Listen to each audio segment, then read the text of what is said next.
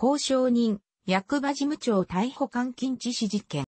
交渉人、役場事務長逮捕監禁致死事件とは、オウム真理教が1995年、平成7年に当時目黒交渉役場事務長だった男性を逮捕、拉致、監禁し、殺害、死体遺棄した事件。一連のオウム真理教事件の一つ。事務長の妹、X は、1993年、平成5年10月頃に、オウム真理教に入信し、これまでに数千万円を教団に伏せしていた。ところが、教団は、X の所有物となっている、目黒交渉役場の土地、建物、等の時価で2億7千万円を含めた全財産も、伏せして出家するように強要したため、X は、教団から逃げ出し、目黒交渉役場事務長である被害者にかくまわれることになった。東進都庁長官の飯田恵里子がこの件を朝原に報告。朝原は X の行方を探るため事務長を拉致することとした。1995年、平成7年2月28日午前11時、実行役の井上義弘、中川智正、中村昇、高橋克也、平田悟、平田真、松本剛、井田木弘は、交渉役場付近に到着。平田真が、村井秀夫の開発した目つぶしレーザー銃、臨法を通行人に死者したが、効果がなかったため麻酔で拉致する作戦に変更した。同日午後4時半頃、東京都品川区上大崎の路上で、目黒交渉役場から出てきた事務長を中村が転倒させ、高橋、井田、平田悟が抑え込み、松本剛が運転するレンタカーのワゴン車に連れ込んで、那須県西八代郡上食式村、現、南鶴郡藤川口湖町の第二サティアンに拉致した。ワゴン車は偽造免許証で借りたレンタカーであった。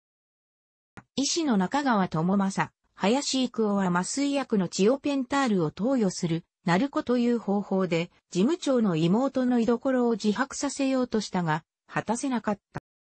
3月1日、朝原将校は拉致実行犯の井田に、事務長を考察させることとし、連絡役の村井秀夫が、やっぱりポア。事務長をポアさせることによって、井田に徳を積ませると伝言、井田を東京からサティアンに呼び戻すことになった。だが井田が戻ってくる前の3月1日午前11時頃に、事務長はチオペンタールナトリウムの過剰投与により死亡した。午後になって井田が到着し、すでに死亡したことを知らせずに、事務長の首を示さた。遺体は中川智正らがマイクロウェーブを応用した焼却炉で焼却し、骨や肺は木片で叩いて粉砕した上硝酸で溶かし、元栖湖に流して死体を遺棄、証拠を隠滅した。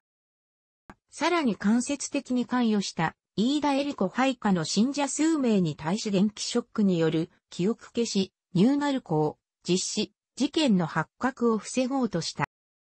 朝原は被害者死亡の法を聞き、被害者は前世で俺の弟子だった。前世でポアしてくれと請願されて約束を果たした。と嘘吹いたという。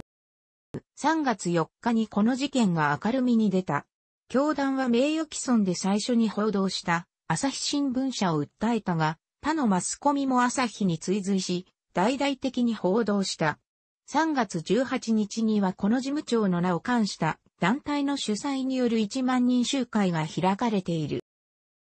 警視庁は拉致される瞬間を複数の民間人が目撃していたことを受けて捜査を開始し、拉致に使用したレンタカーの書類から松本剛の指紋が採取され、さらにレンタカーから松本の指紋と被害者の指と結婚が確認されたことにより、警視庁がオウム真理教が凶悪事件に関与していたことを確定的に認識する初の事件となった。なお、オウムは警視庁管内でも様々な犯罪を行っており、同年1月4日にも警視庁管内で、オウム真理教被害者の開会長 VX 襲撃事件が発生していたものの動かなかった。警視庁は拉致監禁の容疑で、教団本部を3月22日に強制捜査すると決定したが、オウムはそれよりも早く動き、3月20日に地下鉄、サリン事件を起こしたのであった。目黒交渉役場事務長の死亡については、誘拐罪と殺人罪ではなく逮捕監禁致死罪と死体損壊罪で立件されているが、事件の中心人物の一人である井上義弘が2011年夏に事務長の長男に関係者を介して手紙を出し、これまで事務長の死因を麻酔薬の副作用と述べていたがそれは事実ではなく、医師、当時の共犯者が故意に殺害した可能性があるとの内容を告げた。しかし、捜査機関は特に対応しなかった。その後、2012年に逃走中の平田新、高橋克也が逮捕されたため、本件に対する捜査が再開された。しかし、井上の新主張を裏付ける証拠はなく、当の中川智正ら医師や他の共犯者は軒並み、井上の新主張を否定。井上が事件発生から16年以上経って、自らの過去の証言や供述を覆したこともあり、捜査機関の認定は麻酔薬の副作用による死亡ということで変わらなかった。新たに逮捕された共犯者の裁判員裁判の判決でも同様の認定となった。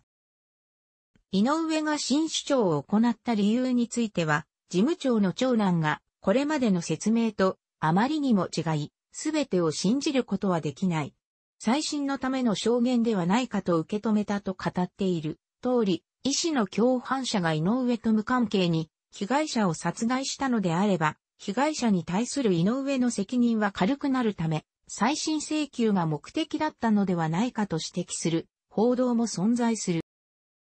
オウム真理教犯罪被害者等を救済するための給付金の支給に関する法律における給付金支給対象事件に指定されている。楽しくご覧になりましたら、購読と良いです。クリックしてください。